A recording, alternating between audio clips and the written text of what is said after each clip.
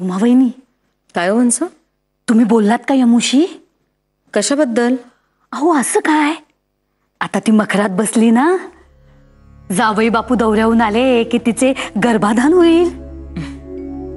खरेच तिला सारे समजावून सांगावयास हवे.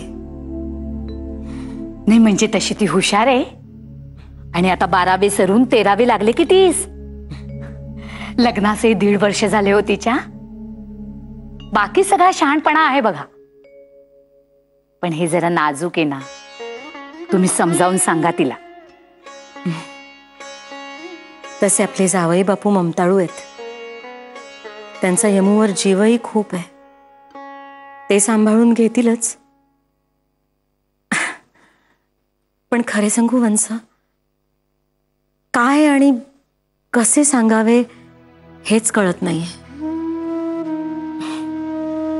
म्हणजे आपल्याला कुठे कोणी काही सांगितले होते.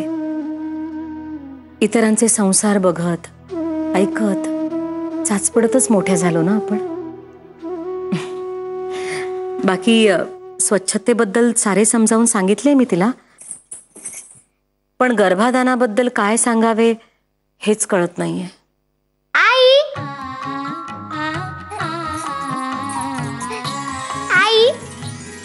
काय आलीच की?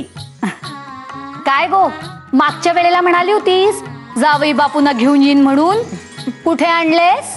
ते आहेतच कुठे पुण्यात. मोठ्या दौऱ्यावर गेले तीन महिन्यांसाठी. मग?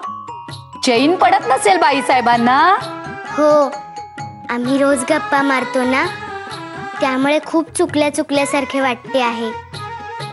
आता जावई बापू आले ना की तुझे गर्भाधान होईल हो? म्हणजे हम्म सांगा. अगो म्हणजे म्हणजे आता तुम्ही रोज गप्पा मारता ना? तेव्हा तुला असे वाटते ना की हे माणूस आपले आहे? अगदी आपल्या मनाजवळचे आहे?